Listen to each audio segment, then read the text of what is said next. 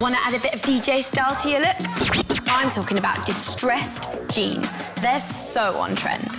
High School Musical star Ashley knows what I'm talking about. She's always rocking the DJs. She knows how to keep it cash but still look amazing. Buy them in the shops and it could cost a fortune. But I've got a trick that doesn't cost a thing. Pair of old jeans. Like this. Now, rip them to pieces. You can use scissors to chop them up. Or you can grate them up. But you know the drill. Be careful. Or you can sand them up. Once you've really messed them up, then stick them on. And look, one pair of totally distressed jeans. Wear it with a cool t-shirt and pumps and you've got the Ashley look. And don't forget, this works well in all colours. Right, guys, listen up. You're gonna love this.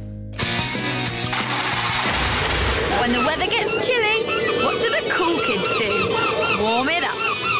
Check out Tiffany from Sunny with a Chance takes an old blazer and cozies it up with a scarf.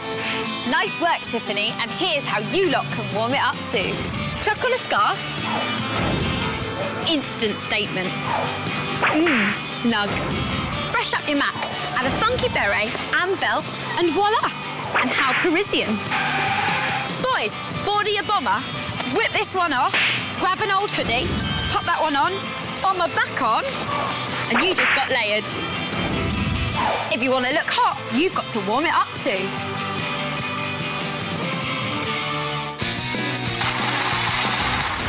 Belts.